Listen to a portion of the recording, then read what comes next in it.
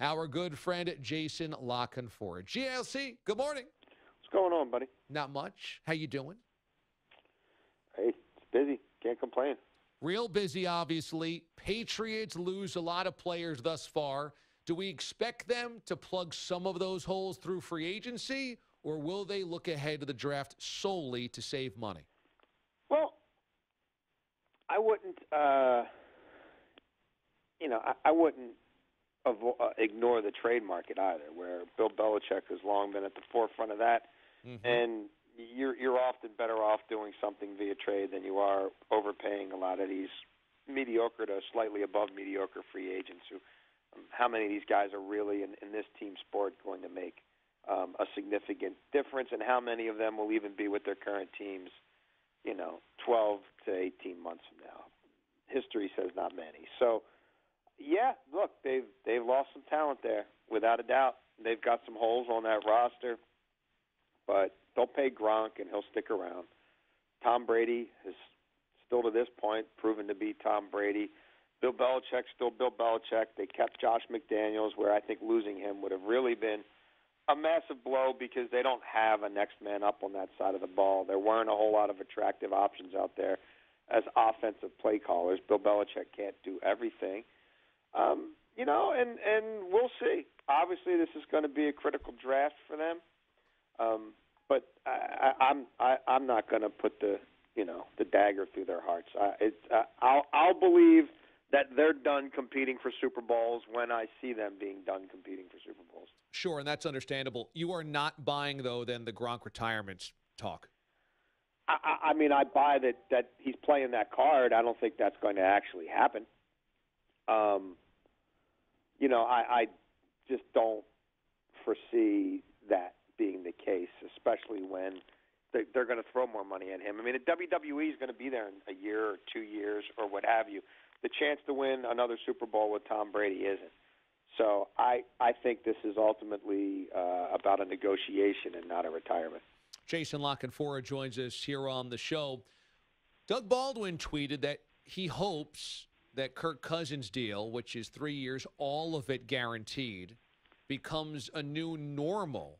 Is there any way that this opens up that as a reality, not as a new normal, but could we see more of this done? Complete contracts all guaranteed? Well, you're going to see more people asking for it. You're going to see more people inquiring about it. Uh, and it will be something that's brought up. I mean, it happened. It's real. It's a new threshold. And kudos to Kirk Cousins and his agent Mike McCartney for for establishing this this uh, goalpost. I don't know though how easily it's going to be achieved. We're talking about a quarterback who perennially ranks in the top, you know, five to ten in most key statistical categories for the last three years.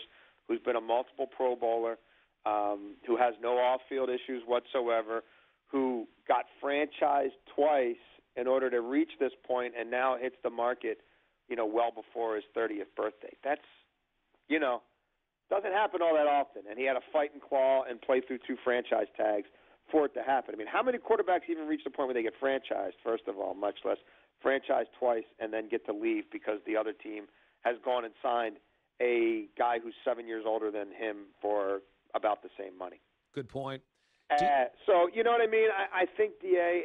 at the end of the day, it opens a, a, a, a new door. It cracks it open a little bit. I don't think it kicks it wide open, and I still think Kirk Cousins, you know, is going to be an anomaly. There's not 32 Bruce Allens and Dan Snyder's running NFL teams. So it took a lot of mismanagement on the Redskins side to even reach this point. They could have had him for three years, 19.5 a year the first time they franchised him, which meant he'd still be there on a three-year, $60 million deal and not getting 84 million guaranteed from the Vikings. And, by the way, getting to hit the market again at age 32, where if Alex Smith gets 27 a million, 27 million a year now at age 36, what's Cousins get in three years at 32? Outrageous. Yep, absolutely outrageous. Do you think that Kirk Cousins is a significant upgrade at quarterback for the Vikings? I think he's a significant upgrade at quarterback to what the norm has been there. But Case Keenum had a hell of a year last year. Right. I mean, he did. He protected the football like he never had before. He made big boy throws and big boy plays down the field to multiple targets. And what did he have? 25 touchdowns or something like that. So I mean, I I, I would expect that Cousins' numbers are better. I guess the question will be, ultimately now they have to win a Super. If they don't win a Super Bowl, then this was a bust. And if Case Keenum remains a highly functional quarterback at 18 a year, so Keenum's going to make at most 36 million for two years in Denver. Although I suspect he's traded by this time next year if he plays half half decent in 18 because they're going to draft a quarterback in Denver who they think will be ready by 19. But you're talking about 84 million for Cousins over three and 36 for Chase Daniel over two. Is he going to be 50 million dollars better than Chase Daniel over a three-year window? I don't know. You know, who who uh, assuming Case Keenum is anything like he was last year, who besides Aaron Rodgers, you know, and maybe you know Russell Wilson would be 50 million dollars better than Case Keenum if Case Keenum keeps doing what he did last year. Mm. Jason La Canfora joins us, CBS Sports NFL Insider. Jordy Nelson released by the Packers, Jimmy Graham brought in by the Packers. Is that a good swap for Aaron Rodgers when it comes to weaponry? We know how good the relationship was between yep. Rodgers and Jordy. I wouldn't make it. I wouldn't rock that boat. And a lot of people around the league who are now interested in Jordy Nelson are surprised because they, even though he's a declining Jordy Nelson and he's getting up there and he doesn't run like he used to, um, nobody thought he was going to hit the market because I shouldn't say nobody, but a lot of people I talked to did not think he would hit the market precisely because of that relationship between the quarterback and him. And the fact that Rodgers is coming back now at this point doesn't have his his new big time contract yet, and that's his guy, and he wants to have one more ride with his guy, and he is the franchise, and the GM is a rookie GM who was promoted from within, and a lot of people didn't think would would be willing to rock the boat like this. And I don't even know that Jimmy Graham's better than him. I mean, even I mean, they both can catch you know five to ten yard touchdown passes around the goal line. Um, neither one runs like he used to. But I don't know. I mean, I don't. Uh, Jimmy Graham was not very impressive, impressive at all to me in, in Seattle. Other than you know, like he started catching touchdowns in the second half of this year, but he wasn't dynamic. He wasn't exploding through seam routes. He wasn't beating defenses deep. Um, you know, he can still go get a jump ball a little bit, but I, I don't know, man. When you factor in the human element, I don't know that that's a net gain for the Packers. And I don't know that Jimmy Graham's days of being a straw that stirs the drink on an offense are here anymore, even with Aaron Rodgers. So I, hmm, I wouldn't have done it, frankly. I mean, it's ballsy, and and maybe maybe their convictions will be right, but uh, I, I wouldn't be, you know, picking fights with Aaron Rodgers right now. Where do you think where's there the most interest for Jordy Nelson right now? Uh, I think uh, he has plenty of, of opportunities. I mean, he's in he's in Oakland right now. Um, you know, that's Reggie McKenzie who came from Green Bay and knows him well.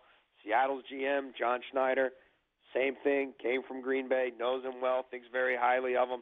Seattle lost Paul Richardson. Seattle lost Jimmy Graham.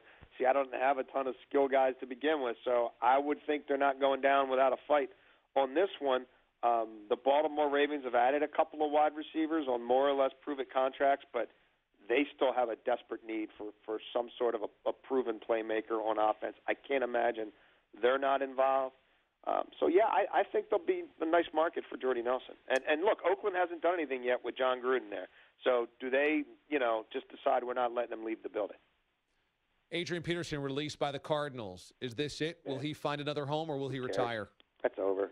I mean, he may. Who cares? Somebody may, somebody may give him, a, you know, somebody may give him a million bucks to try to make their team next year, two million. But I don't think he'll make the team. This is a good crop of uh, of running backs in this draft. It's a young man's position. Um, two teams, well, what now? Three teams in a period of uh, 10, 9, 10 months said no thanks to him. Uh, yeah. Goodbye. So he wants to play in Houston. That's cute. I, hey, I want to play on the moon. Do you think it's a risk for the Packers to bring in Muhammad Wilkerson? No. No, I mean one year with a chance to earn a max of eight million on an incentive-laden contract. Uh, I don't. I think Green Bay would be a great environment for him. It's a defensive court. That's the funny thing about Muhammad Wilkerson. All the people who really know Muhammad Wilkerson wanted him right? Kansas City was all over him. Their D coordinator, Bob Sutton, came from New York, where he was drafted. He goes to Green Bay. Their D coordinator, Mike Pettine, was in New York when he was drafted, worked with him, knows him well. Ask Rex Ryan what he thinks of Muhammad Wilkerson. Uh, I, I mean, I, I, I know that there's been this sort of campaign out there to smear this guy and turn him into some kind of, uh, you know, monster. It's it's the, the the narrative doesn't fit the reality. And this is a guy who was the Jets' highest paid player, who had chronic shoulder issues and played on a foot that was more or less mangled for the last two years. He needs to grow up. He needs to be more mature. He needs to, to make sure he's at every meeting on time and every treatment on time. And there's things that he's done that haven't helped his own cause. But go back a couple of years and go look at your PFFs or any of these evaluators and look at D tackle slash D ends. And the only guy who outperformed him for about a four year period of time was J.J. Watt, and he's going to be hungry and motivated, and it's a different culture in Green Bay. And I think him and Mike Daniels and some of those guys up front, I, I think it's going to work real well. Him on natural grass in a place like Green Bay, I I, I bet he has a big year. Mm. Jason La Canfora, he is a must follow right now on Twitter for all the latest on NFL free agency at Jason La Read up at CBSSports.com as well as they've got it completely covered wall to wall. And JLC, we're only a couple weeks away from Orioles opening day, my man. Yeehaw! Yeah, baby. That's right. Baseball season almost here. Always. No, I love baseball, but I'm I'm not very enthused about the uh, 2018 Orioles. Oh man, you're usually the optimistic guy. You're not even ready for baseball, huh? I mean, I'm ready for it, but I'm just I'm a, I'm a realist. Their their their window is past. Oh, that's devastating to hear. Yeah, you sound all torn up about it. Well, I like when you're happy about the Orioles. I mean, I hope they prove me wrong. Look, go play a bunch of the the bunch of kids who I watch come up through the minors who I think are pretty good. Trade Machado, you know, trade Brad Brach, and you know, stop pretending you're anything other than who you are, which you're you're the Tigers right now. You're the you know, you're a lot closer to the Tampa Bay Rays than you are anybody else in your division. You need to start acting accordingly. The cold, stiff hand of reality, Jason La Canfora. Boom! on the table, joining us here on the show. JLC, good stuff, man. Thanks. You got it, buddy. Have a good one. You too. You. Jason La Canfora joining us this morning on the show.